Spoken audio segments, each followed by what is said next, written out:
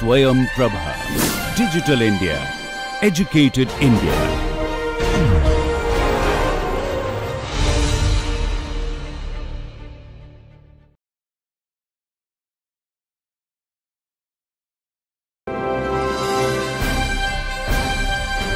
Swayam Prabha. Digital India. Educated India.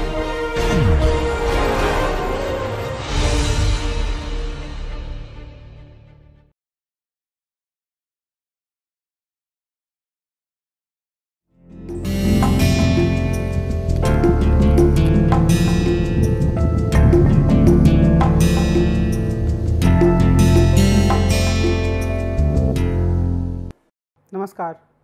भारतीय शासन एवं राजनीति से जुड़े इस पूरी श्रृंखला में हमने पीछे कई विषयों पर चर्चा की है। आज की इस चर्चा में हम एक बहुत ही महत्वपूर्ण विषय पर बातचीत करेंगे। एक, यह एक ऐसा विषय है जिसके माध्यम से हम भारत की राजनीति पर, ज़मीनी स्तर पर ग्रासरूट लेवल पर होने वाले बदलावों की इतिहास उनके संवैधानिक स्वरूप और उनके प्रभावों और उनकी कुछ सीमाओं पर विचार करेंगे। आज हम भारत में स्थानीय स्वशासन के बारे में चर्चा करेंगे।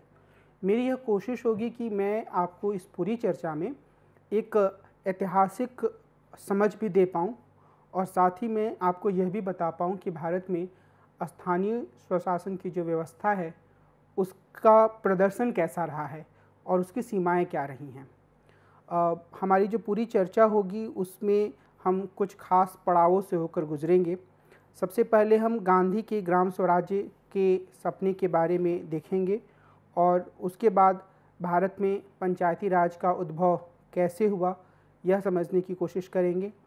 प्राचीन काल में क्या स्थिति थी मध्यकाल में क्या स्थानीय स्वशासन का कोई स्वरूप था, ब्रिटिश शासन के दौरान क्या स्थिति रही स्वतंत्र भारत में स्थानीय स्वशासन किस रूप में आगे बढ़ा और उस संदर्भ में हम बलवंत राय मेहता समिति, अशोक मेहता समिति और तिहत्तरवें और चौहत्तरवें संविधान संशोधन के मुख्य विशेषताओं पर भी ध्यान देंगे। यानी कि हम यह समझने की कोशिश करेंगे कि ऐतिहासिक विकास के दौर में बलवंत राय मेहता समिति और अशोक मेहता समिति ने विशेष रूप से क्या प्रावधान किए या किस तरह की अनुशंसाएँ की और बाद में जो संविधान का तिहत्तरवां और चौहत्तरवां संविधान संशोधन हुआ, उसकी क्या विशेषताएँ थी, फिर हम पंचायती राज संस्थाओं का मूल्यांकन करेंगे और इनकी कुछ सीमाओं के बारे में बताएँगे। हमारा मुख्य ध्यान चूँकि स्थानीय स्वशासन की अवधारणात्मक और ऐतिहासिक समझ पर रहेगा, इसलिए हम विशेष रूप से नगर निकायों के अनुभवों पर ज़्यादा गहराई से नहीं जाएँगे, लेकिन हमारी कोशिश होगी कि आपको एक साधारण विशेषताओं की समझ मिल सके कि किस तरीके से स्थानीय स्वशासन की संस्थाएँ हमारे देश में काम कर रही हैं।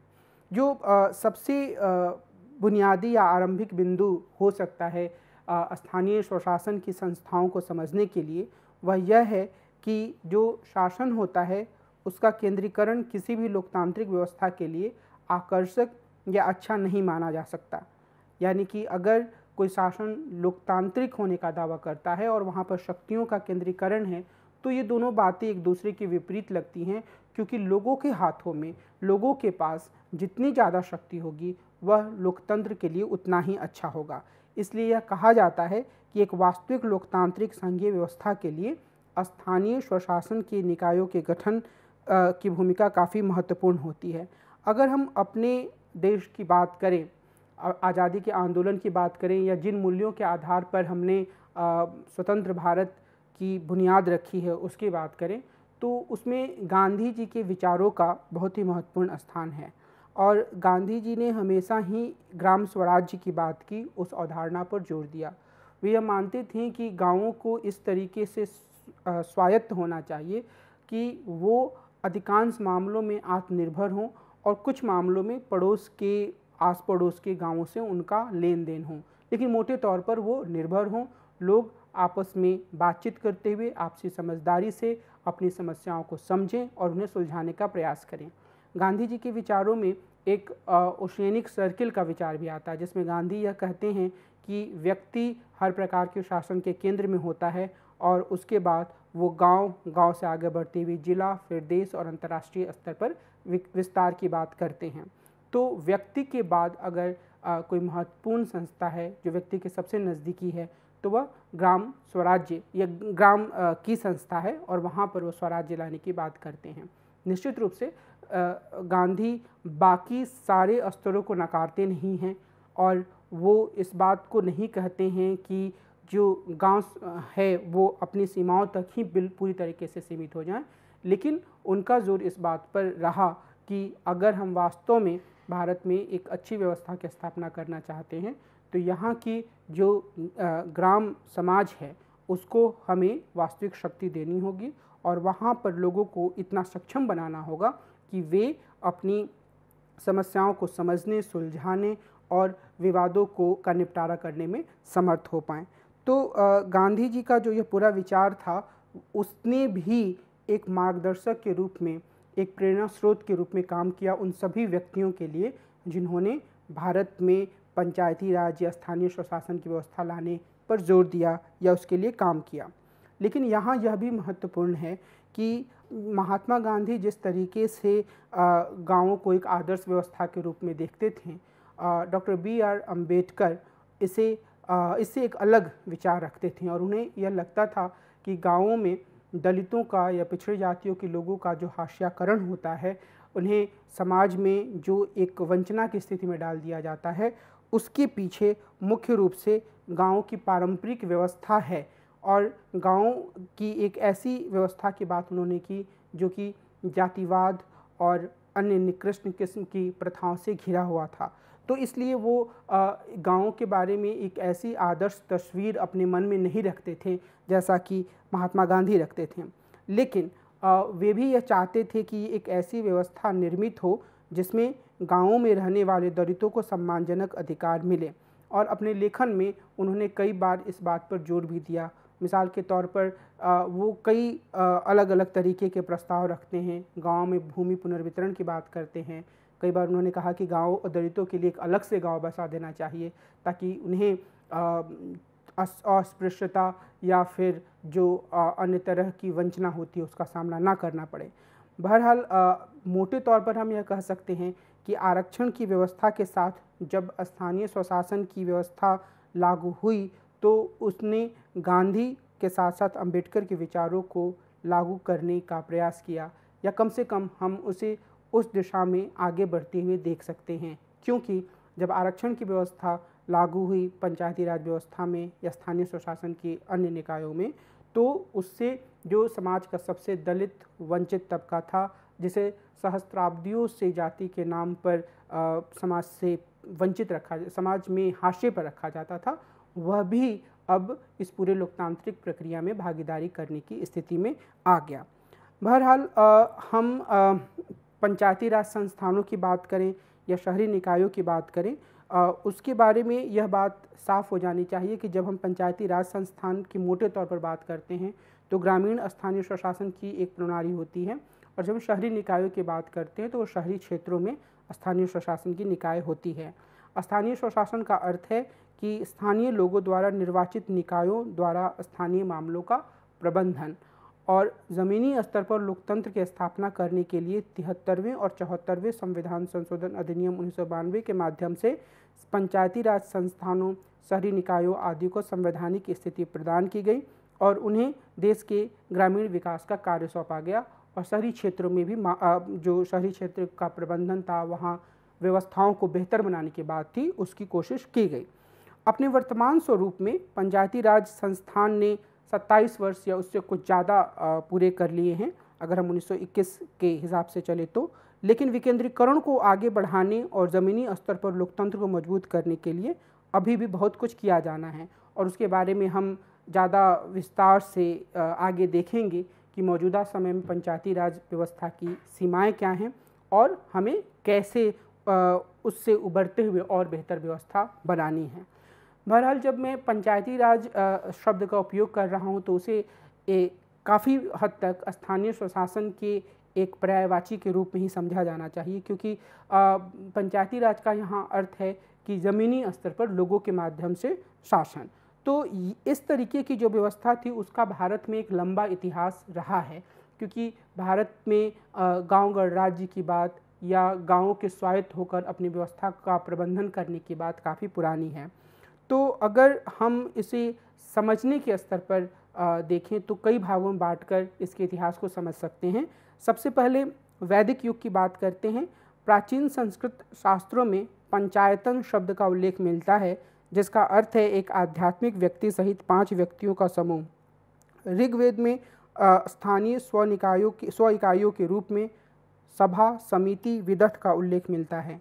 यह स्थानीय स्तर के लोकतांत्रिक निकाय थे। राजा कुछ कार्यों और निर्णयों के संबंध में इन निकायों की स्वीकृति प्राप्त करता, करते थे। प्राचीन काल महाकाव्य युग में भारत के दो महान महाकाव्य काल, इस काल को इंगित करते हैं, रामायण और महाभारत। रामायण के अध्ययन से संकेत मिलता है कि प्रशासन दो भागों पर और जनपद, अर्थात नगर और ग्राम में विभाजित था। राज्य में एक जाति पंचायत भी होती थी और जाति पंचायत द्वारा निर्वाचित व्यक्ति राजा के मंत्रिपरिषद का सदस्य होता था। महाभारत के शांति पर्व, कौटिल्य के अर्थशास्त्र और मनुस्मृति से भी ग्रामों के स्थानीय स्वशासन के पर्याप्त साक्ष्य प्राप्त होते हैं। कौटिल्य के अर्थशास्त्र के अनुसार पंचायत जहाँ, वहाँ, एक तरफ़ वहाँ पंचायतों का उल्लेख है और वहाँ नगर को पुर कहा गया है और इसका प्रमुख नागरिक होता है। तो कौटिल्य के अर्थशास्त्र में में भी ग्राम पंचायतों की एक रूपरेखा है और यह कहा गया है कि स्थानीय निकाय किसी भी राष्ट्रीय हस्तक्षेप से मुक्त होने चाहिए। उसके बाद अगर हम मध्यकाल की बात करें तो सल्तनत काल के दौरान दिल्ली के सुल्तानों ने अपने राज्य को प्रांतों में विभाजित किया था, जिन्हें विलायत कहा जाता था। ग्राम के शासन के लिए तीन महत्वपूर्ण अधिकारी होते थे। प्रशासन के लिए मुकदम राजस्व संग्रह के लिए पटवारी, पंचों की सहायता से विवादों का समाधान करने के लिए चौधरी। ग्रामों के स्वशासन के संबंध में अपने अधिकार क्षेत्र के भीतर पर्याप्त शक्तियाँ प्राप्त थीं। मध्यकाल में मुगल शासन के किस, में सामंतवादी प्रणाली ने धीरे धीरे ग्रामीण स्वशासन को नष्ट कर दिया। पुनः यह उल्लेखनीय है कि मध्यकाल में भी स्थानीय ग्राम प्रशासन में स्त्रियों की भागीदारी का कोई उल्लेख प्राप्त नहीं होता है। और ये स्त्रियों की भागीदारी का उल्लेख कुछ हद तक हम प्राचीन दौर में देख सकते हैं, लेकिन धीरे धीरे मध्य युग के आगमन के साथ इस स्थिति में कमी आई। फिर अगर हम ब्रिटिश काल को देखें तो उसमें ब्रिटिश शासन के अंतर्गत ग्राम पंचायतों की स्वायत्ता समाप्त हो गई और वे कमज़ोर हो गए। वर्ष 1870 में भारत में प्रतिनिधि स्थानीय संस्थाओं का उद्भव हुआ। वर्ष 1870 में प्रसिद्ध मेयो रेजोल्यूशन या मेयो प्रस्ताव ने स्थानीय संस्थाओं की शक्तियों और उत्तरदायित्व में वृद्धि कर उनके विकास को गति दी। वर्ष 1870 में ही शहरी नगर पालिकाओं में निर्वाचित प्रतिनिधियों की अवधारणा को प्रस्तुत किया गया। वर्ष अठारह सौ सत्तावन के विद्रोह ने शाही वित्त पर भारी दबाव बना दिया था और स्थानीय सेवा को स्थानीय कराधान से वित्त पोषित करना आवश्यक माना गया। इस प्रकार यह राजकोषीय मजबूरी थी कि विकेंद्रीकरण पर लॉर्ड मोए के प्रस्ताव को स्वीकार कर लिया गया। मोटे तौर पर इसका अर्थ यह है कि जो स्थानीय निकायों को या स्थानीय स्तर पर शासन व्यवस्था की बात की गई, वो कोई परोपकारी लोकतांत्रिक भावना से नहीं की गई, बल्कि उसमें एक तरीके से ज़्यादा से ज़्यादा वित्त एकत्रित करने का दबाव भी काम कर रहा था। मेयो द्वारा उठाए गए कदमों का अनुसरण करते हुए लॉर्ड रिपन ने वर्ष अठारह सौ बयासी में इन स्थानीय संस्थाओं को उनका अत्यंत आवश्यक लोकतांत्रिक ढांचा प्रदान किया। सभी बोर्डों जो उस समय अस्तित्व में थे, में निर्वाचित गैर अधिकारियों को दो तिहाई बहुमत दिया गया, उनके बहुमत को अनिवार्य बना दिया गया और इन निकायों के अध्यक्षों को भी निर्वाचित गैर अधिकारियों में से ही चुना जाना था। इसे भारत में स्थानीय स्वशासन का मैग्ना कार्टा माना जाता है। तो इस संदर्भ में निश्चित रूप से लॉर्ड रिपन की भूमिका को काफ़ी महत्वपूर्ण माना जाता है। वर्ष 1907 में स्थानीय स्वशासन संस्थाओं को सी एच हाउस की अध्यक्षता में केंद्रीकरण पर रॉयल कमीशन के गठन से अत्यंत बल मिला। इस कमीशन और आयोग या आयोग ने ग्राम स्तर पर पंचायतों के महत्व को चिन्हित किया। इसी पृष्ठभूमि में 1919 में मॉन्टेग्यू चेम्सफोर्ड सुधार ने स्थानीय सरकार के विषय को प्रांतों के अधिकार क्षेत्र में स्थानांतरित कर दिया। इस सुधार में यह अनुशंसा की, भी की गई कि जहाँ तक संभव हो, स्थानीय निकायों के पास एक पूर्ण नियंत्रण की क्षमता होनी चाहिए और बाह्य नियंत्रण से उन्हें पूरी तरीके से स्वतंत्र रखना चाहिए। इन पंचायतों के दायरे में ग्रामों की सीमित संख्या ही थी और इनके कार्य भी सीमित थे। संगठनात्मक और राजकोषीय बाधाओं के कारण ये ग्रामीण स्तर पर स्थानीय स्वशासन के लोकतांत्रिक और जीवन संस्थाओं के रूप में परिणित ना हो पाए। तो एक दिशा में आगे बढ़ने की कोशिश थी, लेकिन बार बार वित्त की कमी और अन्य समस्याओं के कारण बहुत ज़्यादा सफलता नहीं मिल पाई। हालाँकि इसकी कोशिश ज़रूर हुई। फिर 1925 तक आठ प्रांतों ने पंचायत अधिनियमों को पारित कर लिया था और वर्ष 1926 तक छह देशी रियासतों ने भी पंचायत कानून पारित कर लिए थे। स्थानीय निकायों को अधिक शक्तियाँ दी गईं और करारोपण के अधिकारों को कम कर दिया गया, लेकिन इनसे स्थानीय स्वशासन की संस्थाओं की स्थिति में कोई विशेष परिवर्तन नहीं हुआ।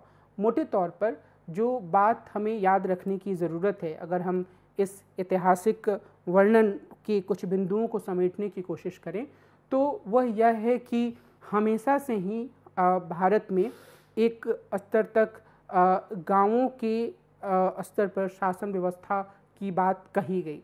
और इस तरह की शासन व्यवस्था में एक स्वायत्तता का भाव निहित था। आ, कुछ समय यह कम रहा कुछ समय यह ज़्यादा रहा स्वायत्तता। ज़्यादा रही स्वायत्तता। लेकिन केंद्रीकरण की जो बात है वह मध्य युग में बढ़ी और वहाँ पर स्वायत्तता थोड़ी कम हुई।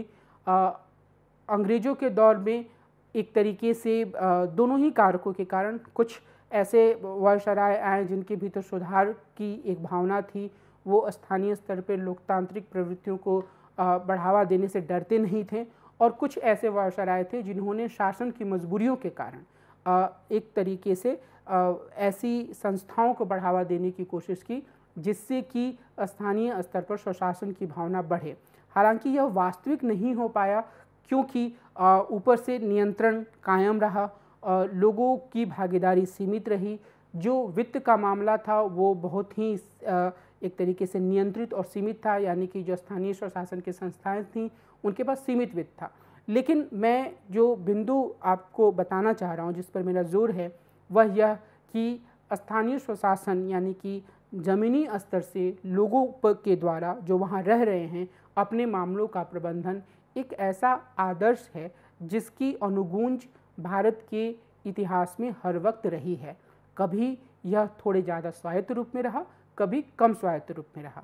लेकिन भारत के स्वतंत्रता आंदोलन के दौरान महात्मा गांधी ने जिस तरीके से ग्राम स्वराज्य की बात की, गाँवों की एक आदर्श तस्वीर प्रस्तुत की और यह कहा कि वो एक ऐसे गाँव की परिकल्पना करते हैं जो अधिकांश मामलों में अपनी ज़रूरतों को खुद पूरा करता है और जिसकी निर्भरता अन्य गाँवों पर आ, कम हो अन्य बाहरी निकायों पर कम हो वो आदर्श है।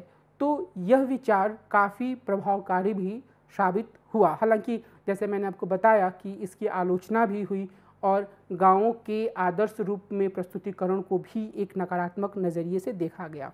लेकिन जब भारत स्वतंत्र हुआ तो यह एक विचार के रूप में स्वीकार कर लिया गया था कि अगर हम वास्तविक रूप से विकास करना चाहते हैं तो हमें स्थानीय स्वशासन की निकायों को ज़्यादा मज़बूत बनाना होगा।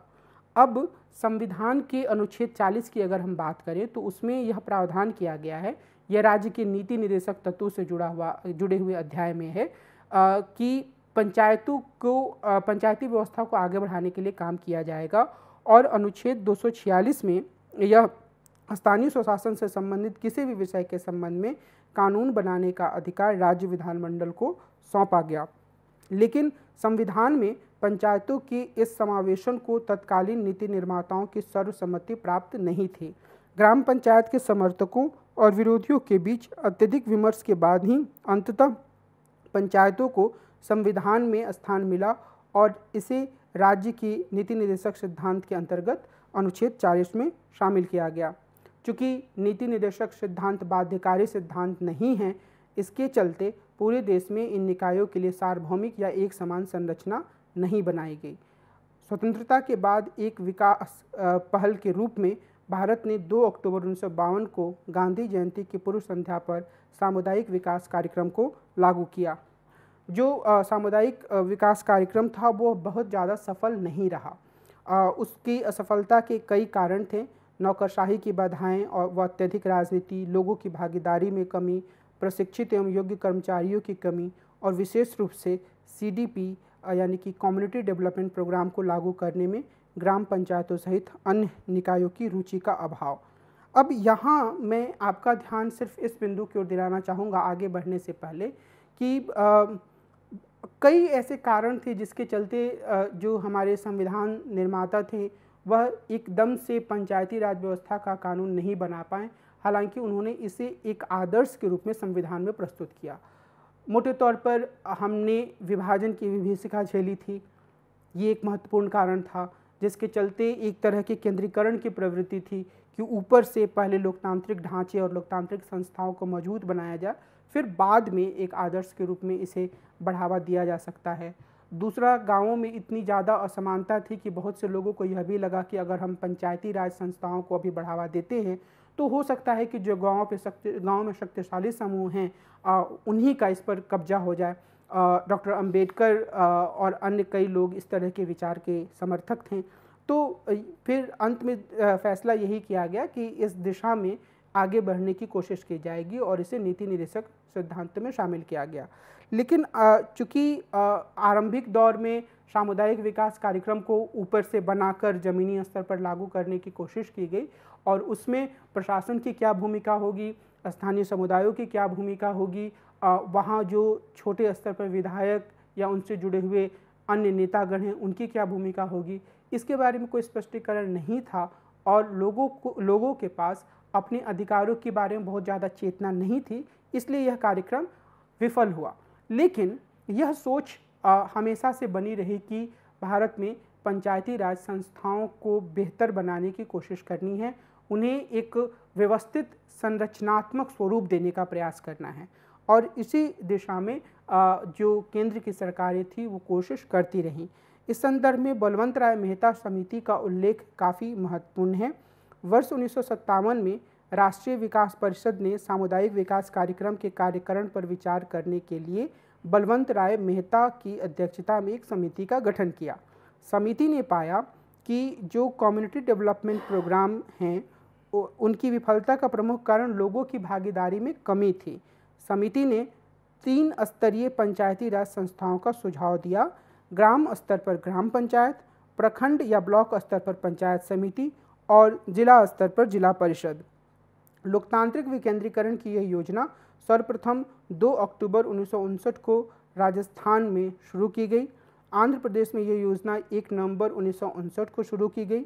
इस संबंध में आवश्यक विधान या कानून भी पारित कर लिए गए और असम, गुजरात, कर्नाटक, मध्य प्रदेश, महाराष्ट्र, ओडिशा एवं पंजाब में भी इसे लागू किया गया। लेकिन निश्चित रूप से ये बहुत ही चूँकि इसको संवैधानिक मान्यता पूरी तरीके से प्राप्त नहीं हुई थी तो यह एक कार्यक्रम के रूप में ही था जिसे लागू करने की कोशिश की गई, पर यह बहुत ही प्रभावकारी तरीके से लागू नहीं हो पाया। इसके कारण से जब जनता पार्टी की सरकार बनी तो उसने अशोक मेहता समिति का गठन किया। अशोक मेहता समिति की जो नियुक्ति हुई थी, उसको भी पंचायती राज व्यवस्था को ज़्यादा जीवंत और बेहतर बनाने के लिए अध्ययन करना था, कुछ सिफारिशें करनी थी। और इस समिति ने द्विस्तरीय या दो स्तरों के पंचायती राज संरचना की अनुशंसा की, जिसमें जिला परिषद और मंडल पंचायत शामिल थे। योजना विशेषज्ञता के उपयोग और प्रशासनिक सहायता की सुनिश्चितता के लिए राज्य स्तर से नीचे ज़िले को विकेंद्रीकरण के प्रथम बिंदु के रूप में रखने की अनुशंसा की गई।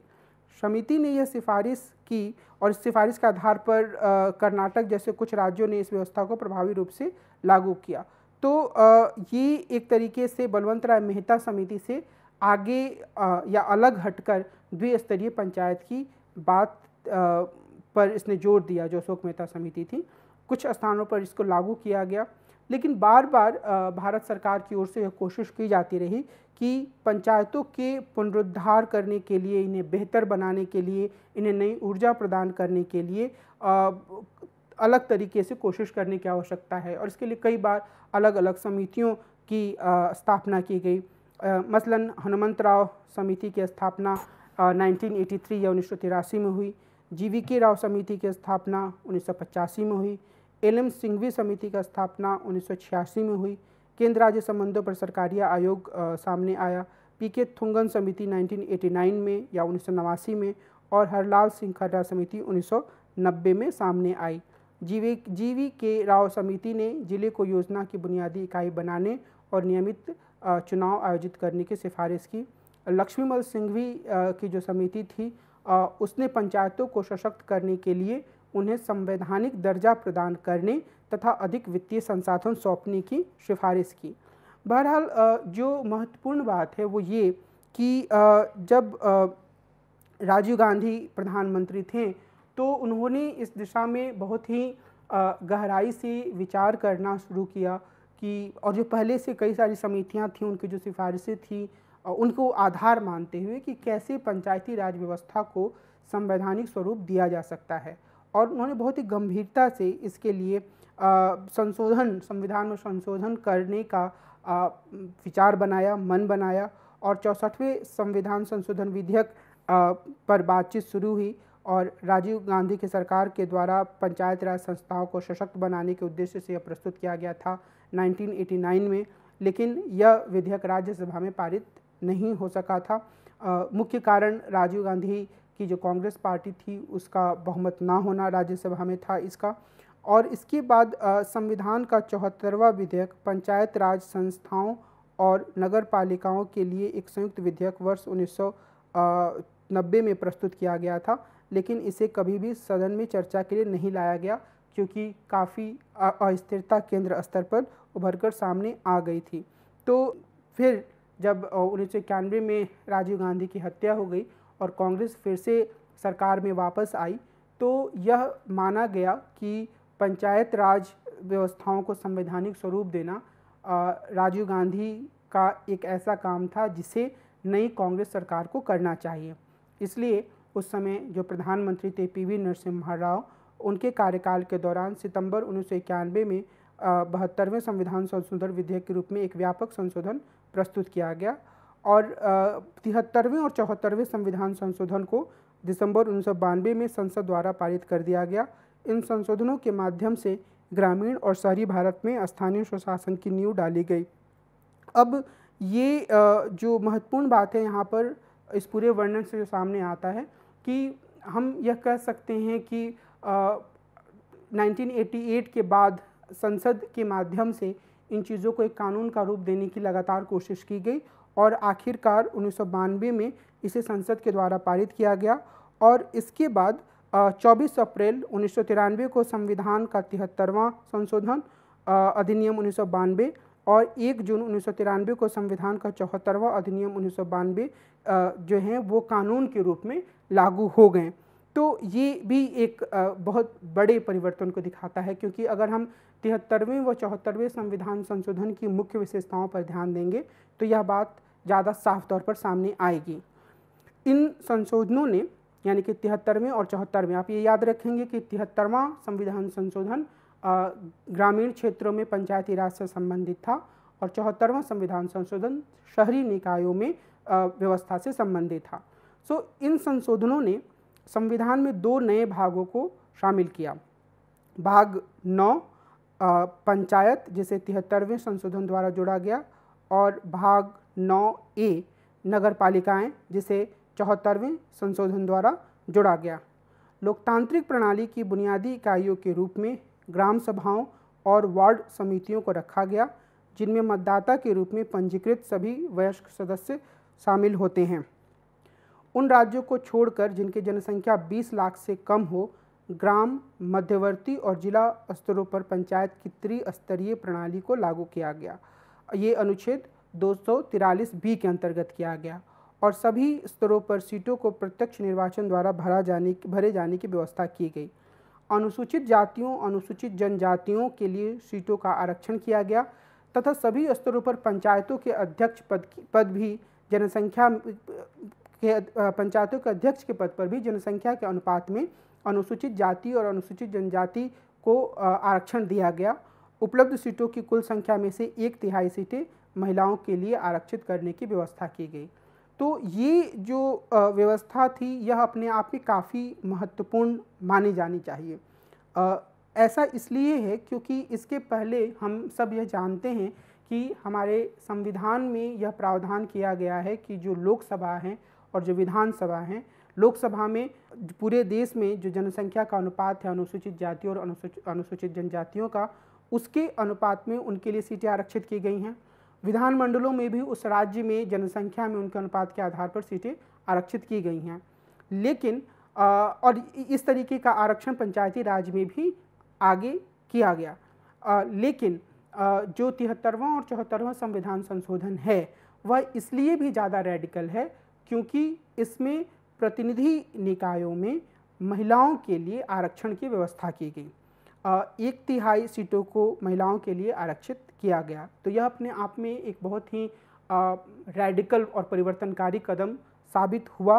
बाद में जब हम पंचायती राज के अनुभवों को देखेंगे तो यह बात ज़्यादा साफ़ तौर पर सामने आएगी। आ, इसके साथ ही कई राज्य राज्यों ने आगे चलकर महिलाओं के लिए 50 प्रतिशत सीटों को आरक्षित करने की व्यवस्था की बिहार उनमें से एक प्रमुख राज्य माना जा सकता है, जिसने सबसे पहले इस तरीके का काम किया। अनुसूचित जातियों और अनुसूचित जनजातियों के लिए आरक्षित स्थानों में से एक तिहाई सीटें इन वर्गों की महिलाओं के लिए आरक्षित कर दी गई। सभी स्तरों पर अध्यक्षों की एक तिहाई पद भी महिलाओं के लिए आरक्षित हैं। प्रतिनिधियों के लिए एक समान पाँच वर्षीय कार्यकाल निर्धारित किया गया है और कार्यकाल की समाप्ति से पहले नए निकायों के गठन के लिए निर्वाचन प्रक्रिया पूरी करने को आवश्यक बना दिया गया है। निकायों के विघटन की स्थिति में छः माह के भीतर निर्वाचन करने को अनिवार्य बनाया गया है। यह अनुच्छेद दो ई के अनुसार मतदाता सूची के अधीक्षण, निर्देशन और नियंत्रण के लिए प्रत्येक राज्य में स्वतंत्र चुनाव आयोग होंगे। यह महत्वपूर्ण बिंदु है क्योंकि यह केंद्र का जो चुनाव आयोग है, वह इस तरीके के काम नहीं देखता है, बल्कि राज्यों के चुनाव आयोग ही इस तरीके के काम को देखते हैं। इसके बाद इस इन संशोधनों में यह व्यवस्था भी की गई कि आर्थिक विकास और सामाजिक न्याय के लिए योजनाएँ तैयार करने और इन योजनाओं और इनके अंतर्गत योजनाएँ भी शामिल वे योजनाएँ भी शामिल हैं जो ग्यारहवीं अनुसूची में सूचीबद्ध विषयों के संबंध में हैं। उन योजनाओं को कार्यान्वित करने के लिए, पंचायतों को शक्ति व प्राधिकार प्रदान करने के लिए राज्य विधानमंडल को विधि बनाने कानून बनाने का अधिकार दिया गया। पंचायतों और नगर पालिकाओं द्वारा तैयार की गई योजनाओं को समेकित करने के लिए चौहत्तरवें संशोधन में एक जिला योजना समिति डिस्ट्रिक्ट प्लानिंग कमेटी का प्रावधान किया गया है। रा, राज्य सरकारों से बजटीय आवंटन कुछ करों के राजस्व की साझेदारी करों का संग्रहण और उसमें प्राप्त राजस्व का अवधारण केंद्र सरकार के कार्यक्रम एवं अनुदान केंद्रीय वित्त आयोग के अनुदान आदि के संबंध में उपभोग में भी उपबंध किए गए हैं कि किस तरीके से इन सभी में पंचायतों के लिए भी व्यवस्था करने पर विचार किया जाना चाहिए। प्रत्येक राज्य में एक वित्त आयोग का गठन करने का प्रावधान किया गया है। इस वित्त आयोग का काम उन सिद्धांतों को निर्धारित करना होगा, जिसके आधार पर पंचायतों और नगर पालिकाओं के लिए पर्याप्त वित्तीय संसाधनों की उपलब्धता सुनिश्चित की जाएगी। संविधान के ग्यारहवीं अनुसूची पंचायती राज निकायों के दायरे में उनतीस कार्यों को शामिल करती है। भारत में पंचायती राज संस्थाओं या स्थानीय स्वशासन के संस्थाओं का मूल्यांकन करते समय हमें कुछ बुनियादी चीज़ों पर ज़रूर ध्यान देना चाहिए। एक तो बात यह है कि क्या प्रतिनिधित्व के स्तर पर इसने कोई बदलाव किया है? क्या इससे वास्तविक अर्थों में ग्रामीण क्षेत्रों में या शहरी क्षेत्रों में रहने वाले लोगों को प्रतिनिधित्व मिल पाया है। हमें फिर यह भी देखना चाहिए कि जो एक लक्ष्य पंचायती राज व्यवस्था को लागू करते हुए सामने रखा गया था कि स्थानीय स्तर पर विकास के काम काफ़ी होंगे, सुचारू तरीके से होंगे, लोगों की भागीदारी होगी, क्या वह पूरा हो पाया है? फिर हमें यह भी देखना होगा कि क्या पंचायती राज व्यवस्था को जिस रूप में लागू करने की बात की गई थी वह व्यवस्था उस रूप में लागू हो पाई है संवैधानिक रूप से। निश्चित रूप से पंचायती राज कानून या तिहत्तरवें और चौहत्तरवें संशोधन, पंचायतों और नगर पालिकाओं से जुड़े हुए संशोधन को पारित होने के बाद अलग अलग राज्यों ने अपने अपने तरीके से कुछ कानूनों का निर्माण किया। पंचायती राज व्यवस्था के मूल्यांकन की तरफ़ आगे बढ़ने से पहले मैं इस बात का भी उल्लेख करना चाहूँगा आपके सामने। कि आ, हमारे संविधान में जब यह संशोधन हुआ तो इन दोनों ही संविधान संशोधनों में एक अलग से प्रावधान भी जोड़ा गया।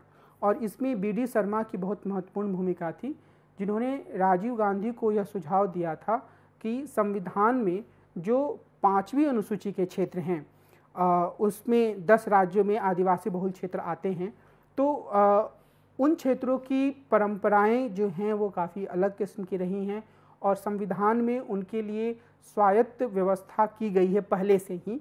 तो इसलिए ज़रूरी यह है कि वहाँ पर पंचायती राज कानून को लागू करने के लिए अलग से संवैधानिक संशोधन किए जाएँ।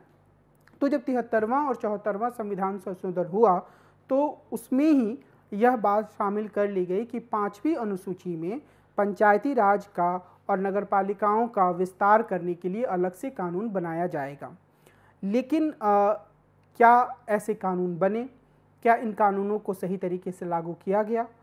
तो इस संदर्भ में जब हम आदिवासियों के बारे में विस्तार से बात करेंगे तो वहाँ हम इस चर्चा को और विस्तार से करेंगे। लेकिन मैं चूँकि पंचायती राज की बात कर रहे हैं स्थानीय स्वशासन की बात कर रहे हैं तो आ, मैं इस बात का उल्लेख करना चाहूँगा कि हमारे देश में आ, जो एक अलग से पाँचवीं अनुसूची का जो क्षेत्र है अब मुझे यह उम्मीद है कि आप लोगों के दिमाग में यह बात स्पष्ट होगी कि पाँचवीं अनुसूची और छठी अनुसूची का क्या मतलब है। छठी अनुसूची में पूर्वोत्तर के आदिवासी बहुल क्षेत्र शामिल हैं और पाँचवीं अनुसूची में पूर्वोत्तर के अलावा ऐसे बहुत से क्षेत्रों को शामिल किया गया है जहाँ आदिवासी रहते हैं। इसमें छत्तीसगढ़ मध्य प्रदेश, हिमाचल प्रदेश, राजस्थान, झारखंड और पश्चिम बंगाल, इस तरीके से राजस्थान सहित बहुत सारे राज्यों के कुछ क्षेत्रों को और कई राज्यों में बहुत सारे क्षेत्रों को और कई राज्यों में सभी क्षेत्रों को सम्मिलित किया गया है। तो मुख्य तौर पर ये आदिवासी बहुल इलाके हैं। तो यहाँ पर जब लोगों ने बहुत कानून आ, बहुत सारे आंदोलन चलाया उन्नीस सौ चौरानवे पंचानवे में भारत जन आंदोलन के माध्यम से बी डी शर्मा के नेतृत्व में तो आखिरकार संसद ने पाँचवीं अनुसूची के क्षेत्रों में पंचायत के विस्तार के लिए एक अलग से आ, कानून बनाया और उस कानून को, वो कानून जो था, वो सरकार के द्वारा गठित भूरिया समिति की सिफारिशों पर आधारित था, जिसके अध्यक्ष दिलीप सिंह भूरिया थे और जिसमें कि बी डी शर्मा ने भी बहुत महत्वपूर्ण भूमिका निभाई थी। तो उन्नीस सौ छियानवे में एक कानून बना पंचायत अनुसूचित क्षेत्र विस्तार अधिनियम, panchayat extension to scheduled areas act, जिसमें कि पाँचवीं अनुसूची के या मोटे तौर पर आदिवासी क्षेत्रों के पूर्वोत्तर के अलावा जो भी आदिवासी क्षेत्र थे उनमें उनके आ, उन जगहों पर पंचायती राज व्यवस्था को लागू करने के लिए कानून बनाए गए। कुछ कुछ मोटी बातें हैं यानी कि सभी आदिवासी क्षेत्र पाँचवीं अनुसूची के भाग नहीं हैं वो एक अलग आंदोलन का विषय है। लेकिन इसके साथ ही भूरिया समिति ने भी ये कहा था और संविधान के प्रावधानों में भी यह बात शामिल है कि नगर निकायों के लिए या नगर पालिकाओं को भी जो पाँचवीं अनुसूची के क्षेत्र हैं वहाँ पर लागू करने के लिए एक अलग से कानून बनाने की आवश्यकता है। जिसको कि मेसा कहा गया। Municipality extension to scheduled areas act ये भूरिया समिति में कहा गया था, लेकिन ऐसा नहीं किया गया।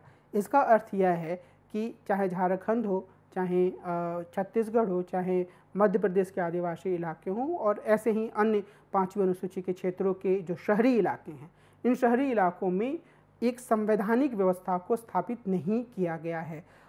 वहाँ पर जो व्यवस्था चल रही है वह संविधान के प्रावधानों के अनुरूप नहीं है, क्योंकि वहाँ पर एक अलग से कानून बनाने की आवश्यकता है, जो कि उन क्षेत्रों के लिए, यानी कि पाँचवीं अनुसूची के संवैधानिक प्रावधानों को ध्यान में रखते हुए काम करें। अब ऐसा नहीं किया गया है तो ये भी एक बहुत बड़ा सवाल है और जब हम पंचायती राज संस्थाओं या स्थानीय स्वशासन के संस्थाओं के मूल्यांकन की बात करते हैं तो इस बात की चर्चा ज़रूर होनी चाहिए।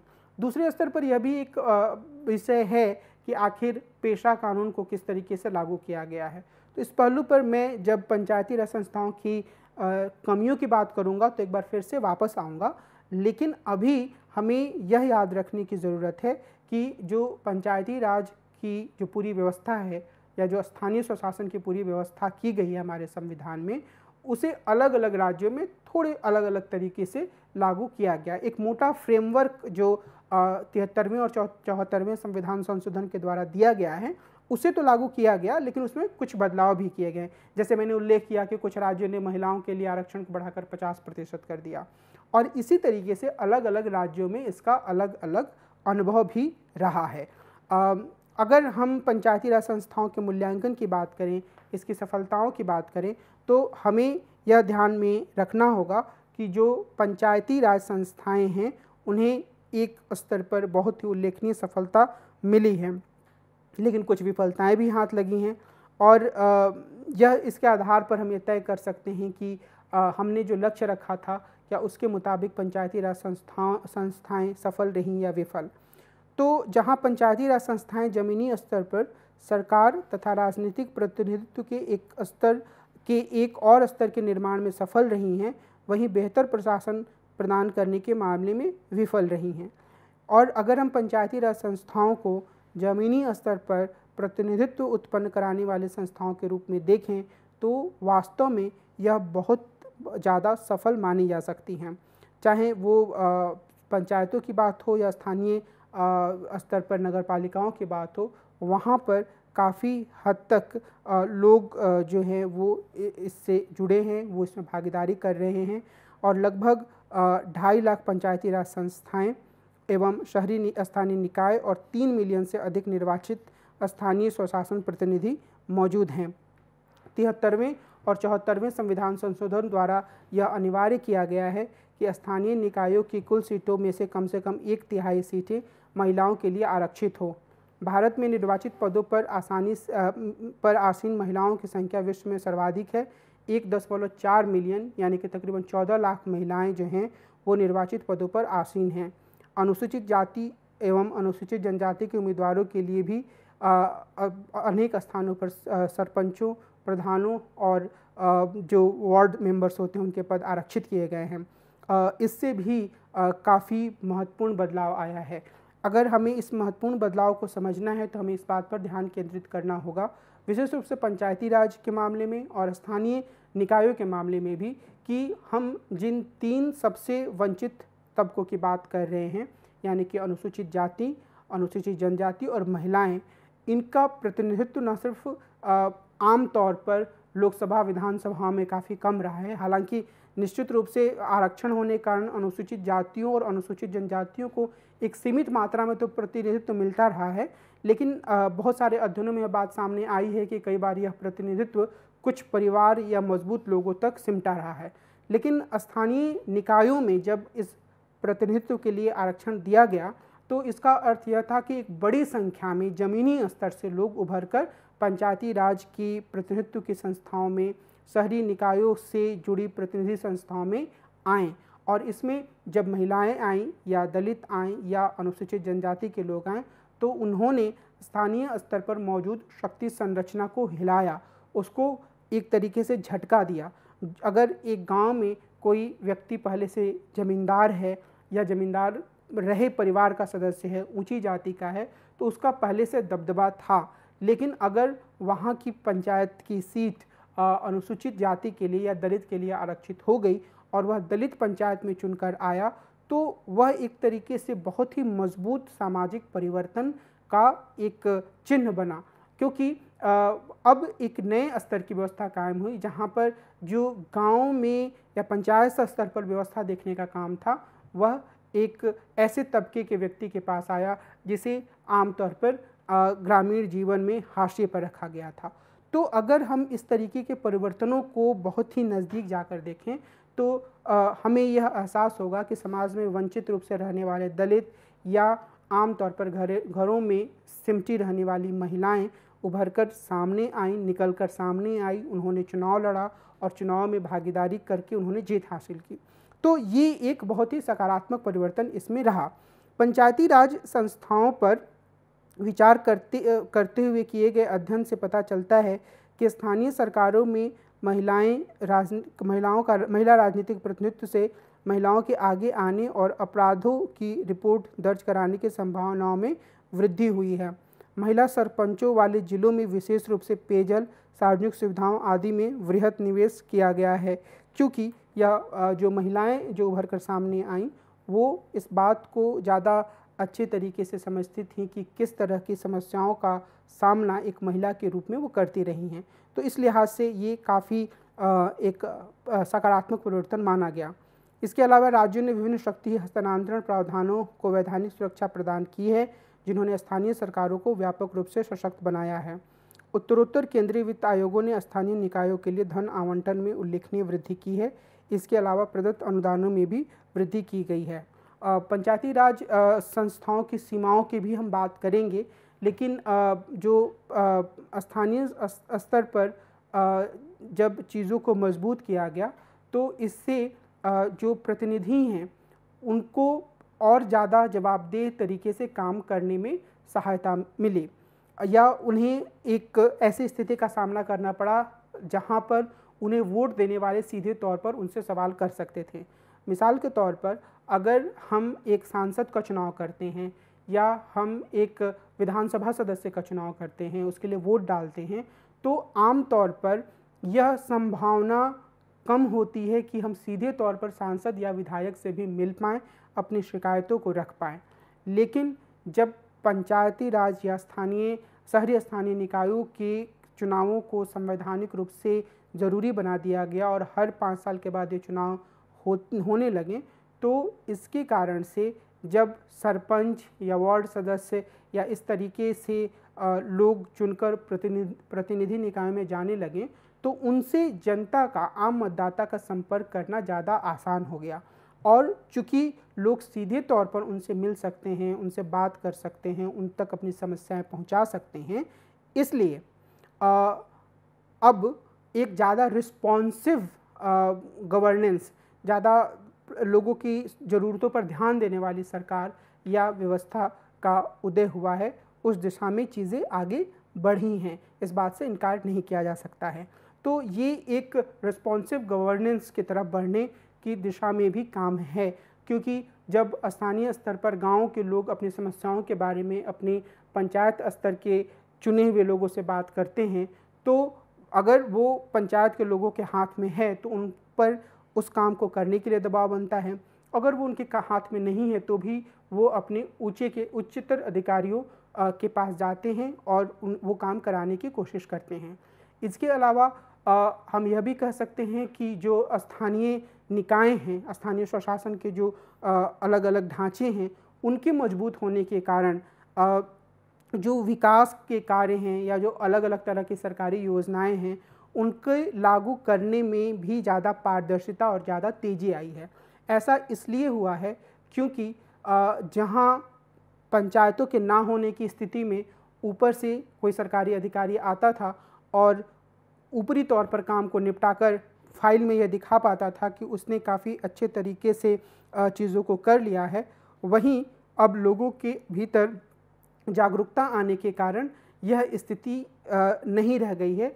क्योंकि लोग विकास के कार्यों में न सिर्फ़ भागीदारी करते हैं, बल्कि अब उनसे सवाल भी पूछते हैं, जो सरकारी अधिकारी होते हैं, बजट के बारे में भी जानकारी रखते हैं, काम किस स्तर का हो रहा है, उसके बारे में भी जानकारी रखते हैं। और सबसे आखिर में मैं यह बोलना चाहूँगा कि जो पंचायती राज की या स्थानीय स्वशासन की निकायों की जो पूरी व्यवस्था है, उसने एक राजनीतिक नेतृत्व के एक नए स्तर का भी निर्माण किया, जो कि काफ़ी मज़बूत है। यह एक तरीके से एक ऐसे प्रशिक्षण के स्तर के रूप में भी काम कर रहा है, जहाँ पर ज़मीनी स्तर पर लोग यह सीखते हैं कि उन्हें राजनीतिक गतिविधियों में कैसे भागीदारी करनी है, उन्हें कुछ लोगों के बीच में कैसे भाषण देना है, उन्हें रोज़ रोज़ के ज़िंदगी से जुड़े हुए मुद्दों पर लोगों को कैसे सचेत करना है, कैसे जागरूक बनाना है और कैसे परिवर्तन की दिशा में आगे बढ़ना है। तो यह जो राजनीतिक नेतृत्व है यह उम्मीद की जा सकती है कि आगे चलकर यह लोकतंत्र को और गहराई देगा, उसे और मजबूती प्रदान करेगा।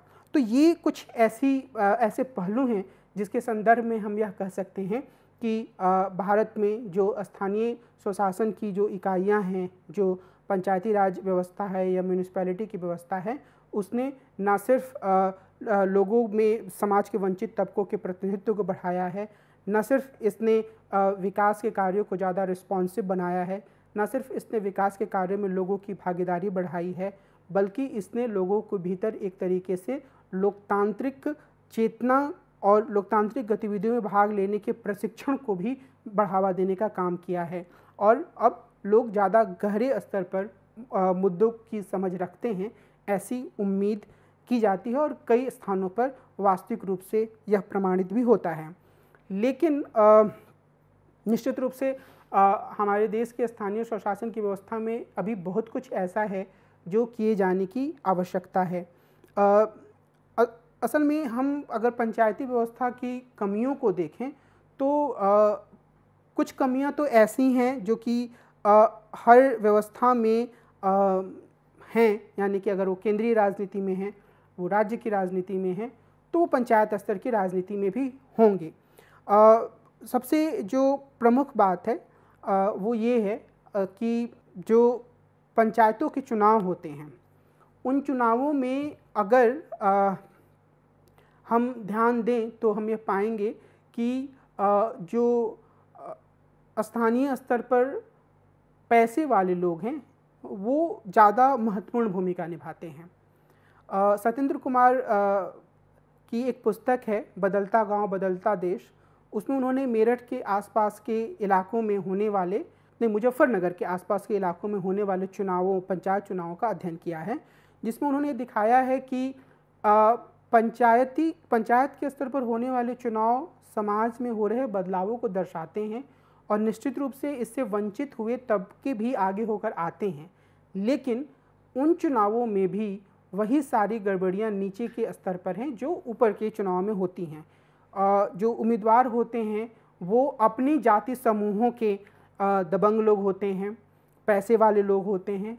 ये जो उम्मीदवार होते हैं वो आम तौर पर आ, हम ये कह सकते हैं कि आ, ऐसे लोग के होते हैं जो कि कुछ लोगों को खिला सकें उन्हें पैसे दे सकें और या फिर दारू मुर्गे की पार्टी कर सकें। तो ये पंचायत के स्तर पर जो चुनाव होता है, उसमें भी धन का उसी तरीके से प्रदर्शन होता है बाहुबल का उसी तरीके से प्रदर्शन होता है, जैसा कि विधानसभा या लोकसभा के चुनाव में देखा जा सकता है। कई बार यह नियंत्रित होता है, कई बार यह कम होता है, पर ऐसा नहीं है कि अनुप अनुपस्थित है या ऐसा भी नहीं है कि बिल्कुल नहीं है। तो उस अध्ययन को हम एक प्रामाणिक अध्ययन के रूप में देख सकते हैं और ऐसे ही बहुत से अध्ययन हैं जो पंचायत स्तर पर होने वाले चुनावों की सीमाओं को दिखाते हैं। तो जो सबसे बुनियादी कमी पंचायती राज व्यवस्था या स्थानीय निकायों की व्यवस्था में है कि यहाँ भी हम धनबल या बाहुबल के प्रयोग को देख सकते हैं। और धनबल और बाहुबल का प्रयोग जो है, वह इस सीमा तक प्रभावी हो जाता है कि जो पूरी लोकतांत्रिक प्रक्रिया है, वह कई बार बहुत ही सीमित लगने लगती है। दूसरे स्तर पर आ, हम मैंने कुछ पॉइंट्स लिखे हैं और अभी जो मैं बोल रहा हूँ उन पॉइंट्स थोड़ा अलग है। दूसरे स्तर पर आ, हम आ, देख सकते हैं कि परिवारवाद किस तरीके से पंचायत के स्तर पर भी काम करता है।